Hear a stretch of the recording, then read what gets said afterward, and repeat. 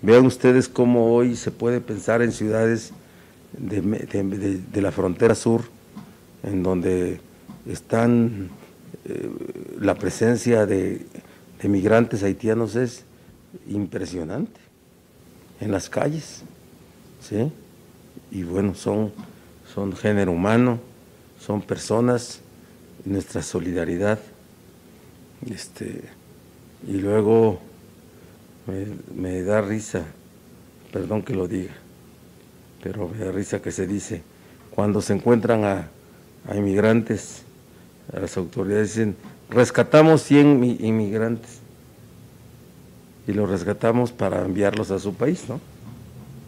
Como que el, los rescatamos de quién, ¿no? De los polleros, pero ese es un rescate. Y lo otro, pues claro, es la pobreza. Es la pobreza y es el modelo económico el que hace que las zonas del mundo estén subdesarrolladas. Los lugares más privilegiados en cuanto a tierra, en cuanto a clima, en cuanto a bellezas, son donde hay la más pobreza más acre, más fuerte, más profunda porque el modelo económico destina a que esas áreas tengan funciones específicas y no de desarrollo. Así están diseñado el mundo.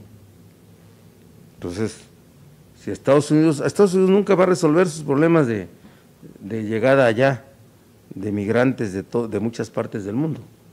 Nunca va, nunca va a resolver.